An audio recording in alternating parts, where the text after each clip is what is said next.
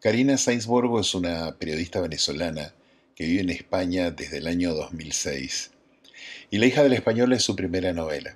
Una novela cuyo título no delata en absoluto la crudeza despiadada que esconde en sus páginas.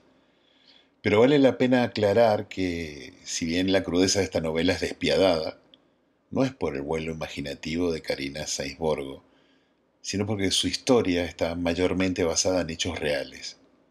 Las desgracias de los personajes de la hija de la española les ocurrieron y le siguen ocurriendo a personas de carne y hueso dentro de ese infierno llamado Venezuela. La novela está bien escrita, eso creo que es innegable. Está repleta de frases memorables y yo creo que evidencia el talento innegable que tiene Karina. Pero creo que el valor más importante de este libro no es el literario, es otro. El verdadero poder que tiene esta novela es impedirnos olvidar a esos millones de personas, esos millones de víctimas que ha producido y sigue produciendo el chavismo, y en recordarnos que, a pesar de que es más cómodo mirar para otro lado, existe un país que se llama Venezuela, que está en manos de gente capaz de las cosas que se relatan en este libro. Les voy a leer solo un par de fragmentos, pero de verdad les recomiendo a todos que la lean completa. La hija de la española, fragmentos. Enterramos a mi madre con sus cosas. El vestido azul, los zapatos negros sin cuñas y las gafas multifocales. No podíamos despedirnos de otra manera. No podíamos borrar de su gesto aquellas prendas. Habría sido como devolverle incompleta a la tierra. Lo sepultamos todo, porque después de su muerte ya no nos quedaba nada. Ni siquiera nos teníamos la una a la otra. Aquel día caímos abatidas por el cansancio. Ella en su caja de madera, yo en la silla sin reposabrazos de una capilla ruinosa la única disponible de las cinco o seis que busqué para hacer el velatorio y que pude contratar solo por tres horas. Más que funerarias, la ciudad tenía hornos. La gente entraba y salía de ellas como los panes que escaseaban en los anaqueles y llovían duros sobre nuestra memoria con el recuerdo del hambre. Pagar el velatorio fue todavía más complicado que sufragar los últimos días de mi madre en la clínica.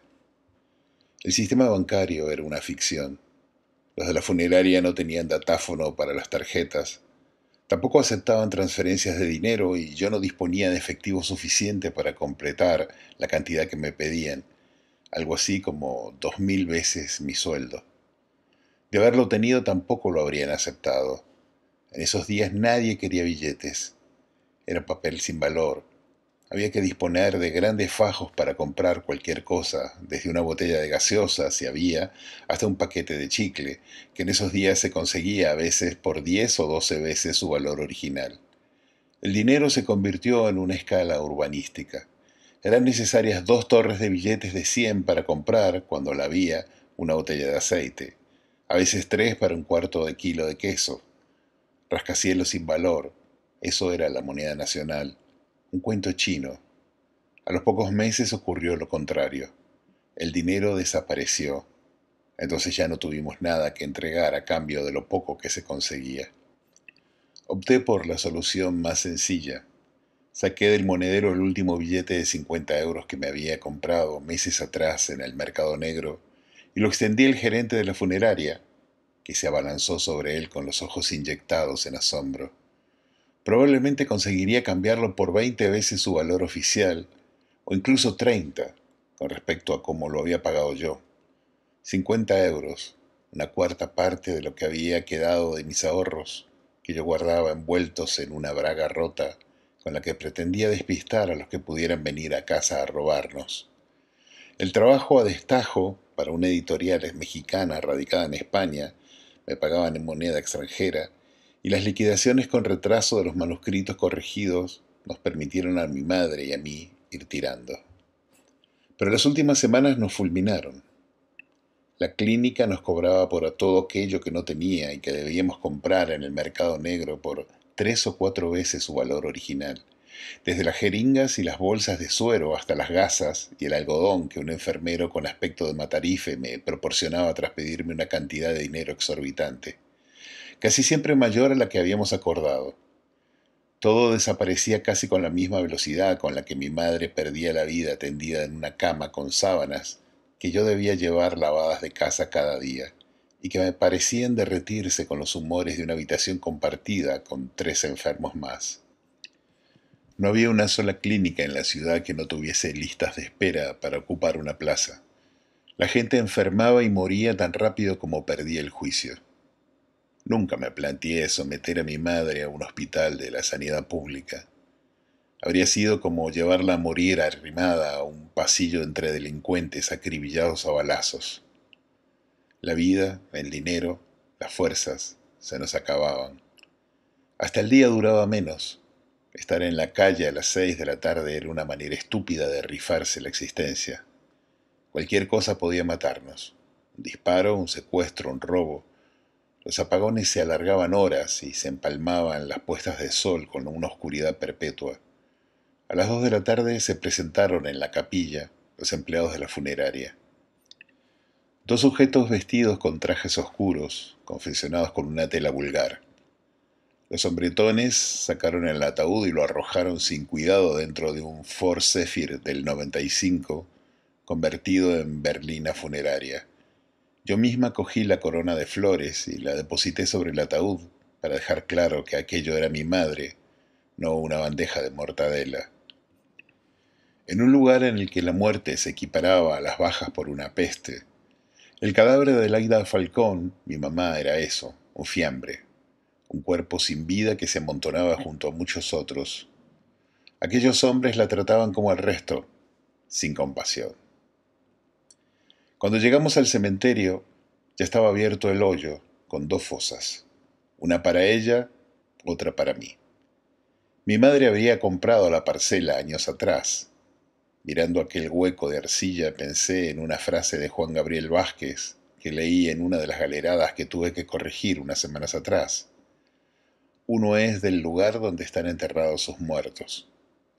Al observar el césped rasurado alrededor de su tumba, entendí que mi único muerto me ataba a una tierra que expulsaba a los suyos con la misma fuerza con que los engullía. Aquella no era una nación, era una picadora.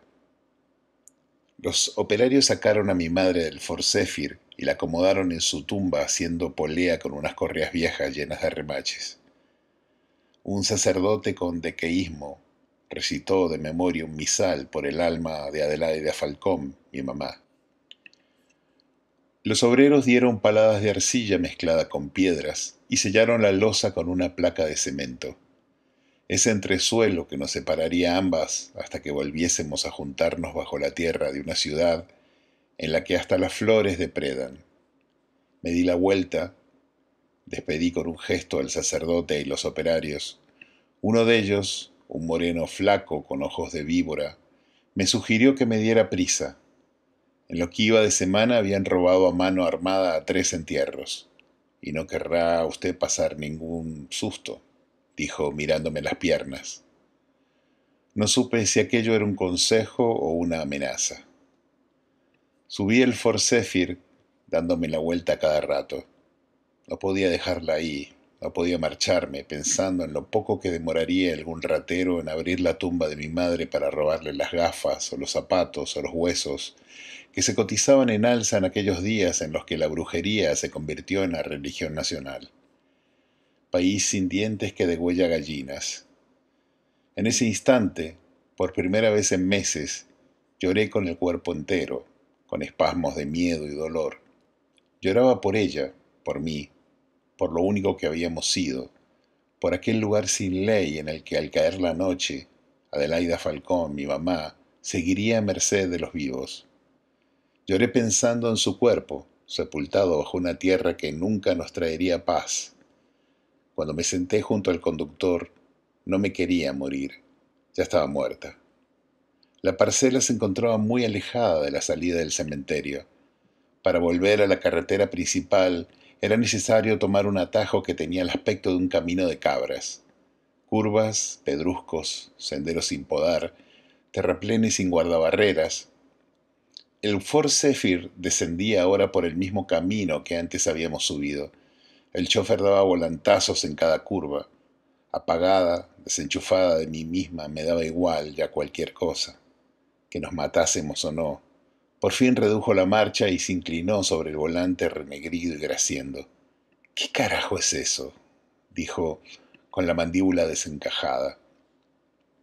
El objeto se desplegó ante nosotros como una luz. Una caravana de motocicletas. Eran veinte o treinta, todas aparcadas en medio de la vía, cortando el paso en ambos sentidos. Sus conductores vestían las camisetas rojas que la administración pública había repartido en los primeros años de gobierno. Era el uniforme de los motorizados de la patria, una infantería con la que la revolución barría cualquier protesta contra el comandante presidente. Así llamaron al líder de los revolucionarios tras la cuarta victoria electoral, y que con el tiempo desbordó sus territorios, competencias y objetivos. Cualquiera que cayese en sus manos se convertía en víctima. ¿De qué? Eso dependía del día y de la patrulla. Cuando se acabó el dinero para financiar a los motorizados, el Estado decidió compensarlos con una propina. No cobrarían el salario revolucionario completo, pero tendrían patente para saquear y arrasar sin control. Nadie los tocaba, nadie los controlaba. Cualquiera con ganas de matar y morir podía apuntarse en sus listas, aunque muchos actuaban en su nombre sin tener siquiera conexión con la estructura original. Llegaron a formar pequeñas cooperativas con las que cobraban peajes en algunas zonas de la ciudad, levantaban una tienda de campaña con tres sillas y ahí echaban el día, recostados sobre aquellas motos desde las que avistaban a su presa, sobre las que montaban para darle caza a punta de pistola. El chofer y yo nos miramos. El grupo de motorizados no había advertido aún nuestra presencia. Estaban todos de pie alrededor de un altar improvisado hecho con dos motos sobre las que habían apoyado un ataúd cerrado. Allí congregados formaban una rueda alrededor de aquella caja a la que propinaban ramazos y contra la que escupían buches de alcohol. Empinaban, bebían y escupían. Es un entierro de malandros, dijo el conductor. Si es usted de rezar, rece, mija. El tiempo que tardó en dar marcha atrás fue suficiente para ver lo que parecía el momento más animado de un aquelarre. Una mujer de cabello estropeado, vestida con chanclas, pantalón corto y camiseta roja, había subido horcajadas a una niña sobre el ataúd.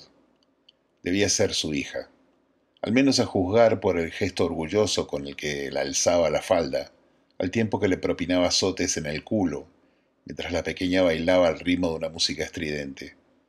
A cada nalgada, la niña de unos doce años como mucho, se sacudía con más fuerza, siempre al compás de una canción que emitían los altavoces de los automóviles y la buceta aparcadas al otro lado de la curva. Tumba la casa, mami, pero que tú, tumba la casa, mami tumba la casa mami, pero que tú tumba la casa mami. Recitaba aquel reggaetón que cargaba el ambiente de un vapor aún más denso. Nunca un sepulcro tuvo tan ardiente reclamo. La niña sacudía la pelvis en expresión en el rostro, ajena a los pitorreos y procacidades, incluso a los azotes de una madre que parecía subastarla al más solvente de las bestias que rodeaban a su virgen. Cada embestida imaginaria de la criatura despertaba el hambre y el llanto de los hombres y mujeres que volvían a escupir aguardiente a la vez que aplaudían. El Ford Zephyr alcanzaba ya distancia suficiente, pero aún pude ver como una segunda chica, algo entrada en carnes, se subía también al ataúd y se acomodaba horcajada, frotando su sexo contra la lámina de latón que ardía abrasada por el sol y bajo la que alguien, quizá un hombre, debía reposar rígido esperando la pudrición. En medio del calor y el vapor de aquella ciudad separada del mar por una montaña, cada célula de aquel cuerpo muerto comenzaría a hincharse, la carne y los órganos a fermentarse, gases y ácidos, pústulas y pequeños globos reventados atraerían a las moscardas de la carne, a las que nacen en los cuerpos sin vida y revolotean entre la mierda. Miré a la chica frotarse contra algo muerto, algo a punto de criar gusanos, ofrecer el sexo como el último tributo para una vida arrancada a balazos, una invitación a reproducirse, a parir y traer al mundo más y más de su estirpe, toneladas de gente a la que la vida le dura poco, como las moscas y las larvas, seres que sobreviven y si se perpetúan alojados en la muerte de otros. Yo también alimentaré esas moscas uno es del lugar donde están enterrados sus muertos, pensé. Por el efecto de la solana de las tres de la tarde, sobre el asfalto se había levantado ese espejismo que borra los paisajes en medio del calor. Aquella concentración de hombres y mujeres refulgía como una parrilla de vida y muerte. Nos alejamos del sendero y emprendimos la ruta por un atajo todavía peor, yo solo pensaba en ese momento en el que el sol se ocultaría y borraría la luz sobre la colina en la que había dejado a mi madre sola. Entonces volví a morir. Jamás pude resucitar de las muertes que se acumularon en mi biografía aquella tarde. Ese día me convertí en mi única familia, la última parte de una vida que no tardarían en arrebatarme a machetazos, a sangre y fuego, como todo lo que ocurre en esta ciudad.